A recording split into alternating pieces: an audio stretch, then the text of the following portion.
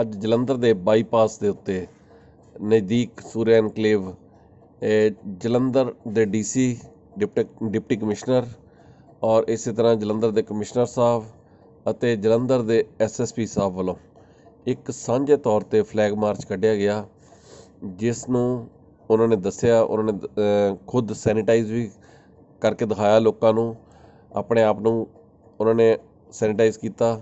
ਇਸੇ ਤਰ੍ਹਾਂ ਉਹਨਾਂ ਨੇ ਕਾਫੀ ਭਰੋਸਾ ਵੀ ਦਿੱਤਾ ਕਿ ਕਾਫੀ ਹੁਣ ਸਹਿਯੋਗ ਦੇ ਰਹੇ ਹਨ, ਜਲੰਧਰ ਦੇ ਲੋਕ। ਉਹਨਾਂ ਨੇ ਫਿਰ ਵੀ ਕਿਹਾ ਕਿ ਜਿਹਨਾਂ ਲੋਕਾਂ ਨੂੰ ਪਾਸ ਦਿੱਤੇ ਗਏ ਹਨ, ਉਹ ਇਸ ਦਾ ਨਜਾਇਜ਼ ਫਾਇਦਾ ਨਾ ਉਠਾਉਣ ਅਤੇ ਨਾਲ ਦੀ ਨਾਲ ਉਹਨਾਂ ਨੇ ਕਿਹਾ ਕਿ ਲੋਕ 188 ਦੇ ਪਰਚੇ ਨੂੰ ਕੁਝ ਮਜ਼ਾਕ ਨਾ ਸਮਝਣ, ਜਿਨ੍ਹਾਂ ਉੱਤੇ ਵੀ ਹੋ ਰਹੇ ਹਨ। ਕੱਲ ਨੂੰ ਉਹਨਾਂ ਦੇ ਨਾ ਡਰਾਈਵਿੰਗ ਲਾਇਸੈਂਸ ਬਣਨੇ ਹਨ ਅਤੇ ਨਾ ਹੀ ਉਹਨਾਂ ਦੇ ਪਾਸਪੋਰਟ ਵਗੈਰਾ ਬਣ ਸਕਣੇ ਹਨ, ਉਹਨਾਂ ਨੂੰ ਬਹੁਤ ਦਿੱਕਤਾਂ ਆਉਣਗੀਆਂ, ਇਸ ਲਈ ਉਹਨਾਂ ਨੇ ਕਿਹਾ ਲੋਕਾਂ ਨੂੰ ਕਿ ਸਹਿਯੋਗ ਕਰਨ ਜ਼ਿਆਦਾ ਤੋਂ ਜ਼ਿਆਦਾ। ਮੈਂ ਸੀਪੀ ਸਾਹਿਬ ਔਰ ਐਸਐਸਪੀ ਰੂਰਲ ਜਲੰਧਰ, ਸ਼੍ਰੀ ਨਵਜੋਤ ਮਾਹਲ ਜੀ, ਅਸੀਂ ਸਾਰਿਆਂ ਨੇ ਅੱਜ ਜੁਆਇੰਟ ਇਹ ਦੌਰਾ ਕੀਤਾ ਹੈਗਾ।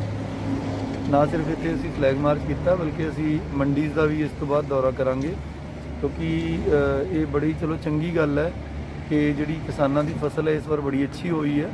ਪਰ ਉਹਦੀ ਜਿਹੜੀ ਪੁਖਤਾ ਪ੍ਰਬੰਧ ਅਸੀਂ ਕੀਤੇ ਆ ਖਰੀਦ ਦੇ ਵੀ ਦੇਖੋ, ਇਹ ਹੁਣ ਮਜਬੂਰੀ ਹੈ ਕਿ ਵਿੱਚ ਆਪਣਾ ਇਹ ਖਰੀਦ ਦਾ ਸਮਾਂ ਵੀ ਵਿੱਚ ਹੀ ਆ ਗਿਆ। ਕਿਸਾਨਾਂ ਦੀ ਜਿਹੜੀ 6 ਮਹੀਨੇ ਦੀ ਮਿਹਨਤ ਹੈ, ਉਹਨੂੰ ਵੀ ਸੰਭਾਲਣਾ ਬੜਾ ਜ਼ਰੂਰੀ ਹੈ, ਪਰ ਉਹਦੇ ਲਈ ਸਰਕਾਰ ਨੇ ਬੜਾ ਅੱਛਾ ਸਿਸਟਮ ਟੋਕਨਸ ਦਾ ਬਣਾਇਆ। ਟੋਕਨ ਲੈ ਕੇ ਸਾਡੇ ਕਿਸਾਨ ਵੀਰ ਬੜੇ ਤਰੀਕੇ ਨਾਲ ਮੰਡੀਆਂ 'ਚ ਆ ਰਹੇ ਆ ਕਿਤੇ ਵੀ ਕੋਈ ਰਸ਼ ਨਹੀਂ ਪੈ ਰਿਹਾ। ਕੱਲ ਜਦ ਕਿ ਮੀਂਹ ਹਨੇਰੀ ਆਈ, ਇੱਕ ਦਿਨ ਪਹਿਲਾਂ ਵੀ ਆਇਆ, ਉਹਦੇ ਕਰਕੇ ਥੋੜਾ ਜਿਹਾ ਵਿਗਨ ਸਾਡਾ ਚੱਕਣ 'ਚ ਪਿਆ ਸੀਗਾ। ਪਰ ਮੈਂ ਅੱਜ ਸਵੇਰੇ ਏਜੰਸੀਆਂ ਨੂੰ ਕਿਹਾ ਕਿ ਬੜੇ ਤਕੜੇ ਹੋ ਕੇ ਚੱਕੋ ਇਹਨੂੰ। ਔਰ ਅਸੀਂ ਮੰਡੀਆਂ ਦੀ ਸੰਖਿਆ ਵੀ ਡਬਲ ਕਰ ਲਈ ਹੈ। ਮੇਰੀ ਕਿਸਾਨ ਵੀਰਾਂ ਨੂੰ ਵੀ ਬੇਨਤੀ ਹੈ ਕਿ ਜਿਸ ਹਮਲ ਨਾਲ ਉਹਨਾਂ ਨੇ ਫਸਲ ਨੂੰ ਪਾਲਿਆ, ਉਦਾਂ ਹੀ ਹੁਣ ਪੂਰਾ ਚਾੜ ਕੇ ਜਿਹੜੀ ਫਸਲ ਹੈਗੀ ਹੈ, ਪੂਰਾ ਉਹਨੂੰ ਯਾਨੀ ਕਿ ਜਦੋਂ ਉਹਦਾ ਮੋਇਸਚਰ ਘਟ ਜਾਂਦਾ, ਉਸ ਵੇਲੇ ਕੱਟਣ। ਕਿਤੋਂ ਕੋਈ ਕੰਬਾਈਨਾਂ ਦੀ ਪ੍ਰੋਬਲਮ ਨਹੀਂ ਆ ਰਹੀ, ਸਾਰੇ ਸਪੇਅਰ ਪਾਰਟ ਰਿਪੇਅਰ ਦੀਆਂ ਜਿਹੜੀਆਂ ਦੁਕਾਨਾਂ ਨੇ, ਉਹਨਾਂ ਨੂੰ ਵੀ ਅਸੀਂ ਕਹਿਤਾ ਸੀ ਸਵੇਰੇ 5 ਤੋਂ 8 ਕਰੋ। ਪਰ ਉਸ ਤੋਂ ਬਾਅਦ ਕਿਤੋਂ ਕੋਈ ਡਿਸਟ੍ਰੈਸ ਕਾਲ ਕਿਤੋਂ ਕੋਈ ਕਿਸਾਨਾਂ ਦੀ ਕੋਈ ਪ੍ਰੋਬਲਮ ਆਈ ਨਹੀਂ। ਸਾਰੇ ਐਸਡੀਐਮਸ ਇਸ ਕੰਮ ਤੇ ਲੱਗੇ ਆ, ਸਾਰੇ ਡੀਐਸਪੀਸ ਔਰ ਸਾਰੇ ਏਸੀਪੀਸ ਪੂਰਾ ਇਸ ਦਾ ਧਿਆਨ ਰੱਖ ਰਹੇ ਆ ਫੀਲਡ ਦੇ ਵਿੱਚ।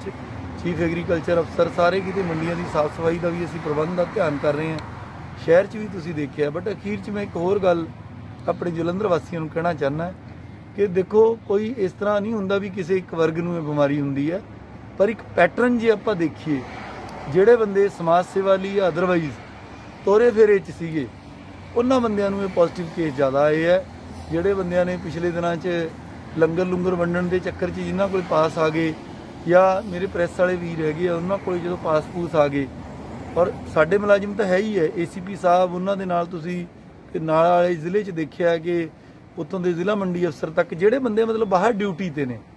ਸੋ ਇਸ ਤੋਂ ਇਹ ਪੈਟਰਨ ਪਤਾ ਲੱਗਦਾ ਵੀ ਜਿਹੜੇ ਬੰਦਿਆਂ ਨੂੰ ਮਜਬੂਰੀ ਵਸ਼ ਜਾਂ ਡਿਊਟੀ ਵਾਸ ਬਾਹਰ ਜਾਣਾ ਪੈ ਰਿਹਾ ਹੈਗਾ, ਉਹ ਬੰਦੇ ਪੋਜ਼ਿਟਿਵ ਆ ਰਹੇ ਹੈਗੇ ਨੇ। ਤੋ ਆਪਣੇ ਕੋਲ ਜੇ ਪਾਸ ਹੈਗਾ, ਆਪਾਂ ਇਸ ਗੱਲ ਨੂੰ ਸ਼ਾਨ ਦਾ ਵਿਸ਼ਾ ਨਾ ਸਮਝੀਏ। ਆਪਾਂ ਉਸ ਨੂੰ ਡਿਸਕ੍ਰੀਟਲੀ ਉਹਨਾਂ ਕੁ ਵਰਤੀਏ ਪਾਸ ਨੂੰ ਜਿੰਨੇ ਬਗੈਰ ਸਰਦਾ ਨਹੀਂ। ਅੱਛਾ ਜੀ, ਜਾਣਾ ਹੈ ਸੋਸ਼ਲ ਡਿਸਟੈਂਸਿੰਗ ਹੱਥਾਂ ਨੂੰ ਧੋਣ ਦਾ ਧਿਆਨ ਸੈਨੀਟਾਈਜ਼ਰ ਦਾ ਯੂਜ਼ ਮਾਸਕ ਦਾ ਯੂਜ਼ ਸਾਰਾ ਕੁਝ ਆਪਾਂ ਕਰੀਏ। ਆਪਾਂ ਸੇਵਾ ਵਾਲੇ ਨੂੰ ਸੇਵਾ ਤੋਂ ਨਹੀਂ ਰੋਕਦੇ ਬਟ ਇਹ ਜਿਹੜੇ ਕੇਸ ਪਿਛਲੇ ਦਿਨਾਂ 'ਚ ਆਏ ਨੇ ਪਰ ਜੋ ਇਹਨਾਂ ਦੇ ਪੈਟਰਨਸ ਸਾਹਮਣੇ ਆਏ ਨੇ ਕਿ ਜਿਹੜੇ ਲੋਕਾਂ ਦੀ ਮੂਵਮੈਂਟ ਜ਼ਿਆਦਾ ਹੈ, ਉਹਨਾਂ ਲੋਕਾਂ 'ਚ ਇਹ ਬਿਮਾਰੀ ਜ਼ਿਆਦਾ ਹੋਈ ਹੈ। ਪਰ ਜਿਹੜੇ ਲੋਕਾਂ 'ਚ ਬਿਮਾਰੀ ਹੋਈ ਹੈ ਅੱਗੇ ਦੇਖੋ ਤੁਸੀਂ 1 ਸਾਲ ਦਾ ਬੱਚਾ ਘਰੇ 8 ਸਾਲ ਦੀ ਬੱਚੀ ਘਰੇ 12 ਸਾਲ ਦਾ ਬੱਚਾ ਘਰੇ 17 ਸਾਲ ਦਾ ਬੱਚਾ ਘਰੇ, ਉਹਨਾਂ ਦਾ ਕੀ ਕਸੂਰ ਹੈ? ਜਾਂ ਜਿਹੜੇ ਲੋਕਾਂ ਦੀ ਇਹ ਸਾਰਾ ਪੈਟਰਨ ਬਣਿਆ ਹੈ, ਉਹਨਾਂ ਦੇ ਅੱਗੇ ਮਾਂ ਪਿਓ ਦਾ ਕੀ ਕਸੂਰ ਸੀਗਾ? ਉਹ ਅਨਨੈਸੈਸਰਲੀ ਆਪਾਂ ਸੇਵਾ ਕਰਦੇ ਕਰਦੇ ਕਿਤੇ ਇਸ ਚੱਕਰਾਂ 'ਚ ਨਾ ਪੈ ਜਾਈਏ। ਇਹ ਸਾਰੇ ਨੂੰ ਧਿਆਨ ਰੱਖਦੇ ਹੋਏ ਮੇਰੇ ਲੋਕਾਂ ਨੂੰ ਬੇਨਤੀ ਹੈ ਕਿ ਇਹ ਸਾਰੀ ਜ਼ਿੰਮੇਵਾਰੀ ਸਮਝ ਕੇ ਹੀ ਉਹ ਆਪਦਾ ਚੱਕਣ ਜੇ ਉਹਨਾਂ ਨੂੰ ਪਾਸ ਬਣ ਗਿਆ ਤਾਂ ਉਹਦਾ ਇਹ ਮਤਲਬ ਨਹੀਂ ਹੈ ਵੀ ਆਪਾਂ ਤੁਰ ਫਿਰ ਕੇ ਆਪਦੇ ਪੂਰੇ ਪਰਿਵਾਰ ਨੂੰ ਹੀ ਖਤਰੇ 'ਚ ਪਾ ਦਈਏ ਧੰਨਵਾਦ।